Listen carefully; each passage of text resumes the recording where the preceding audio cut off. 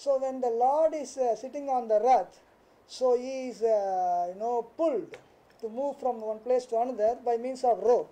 So actually in the Vedic scripture, by even uh, touching the rope, one gets wonderful spiritual benefit. So when one pulls the rope, he actually is trying to bring the Supreme Lord within one's heart. In the heart, there are so many uh, no material desires are there.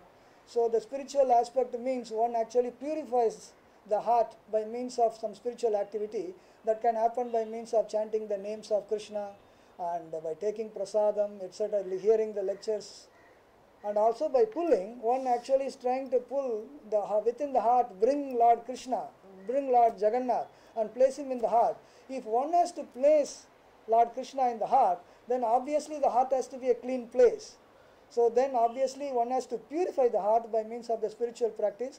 One of the best practice to purify the heart is chanting the names of Krishna. This is mentioned in the scripture that uh, Hare Krishna, Hare Krishna, Krishna Krishna, Hare Hare, Hare Rama, Hare Rama, Rama Rama, Hare Hare, Iti Sodasakam Nam Nam Kalau Kalmasanasanam.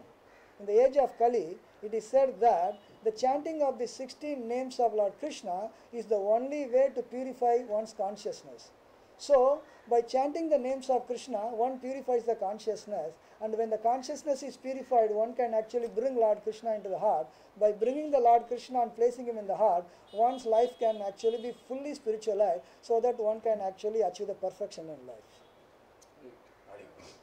Hare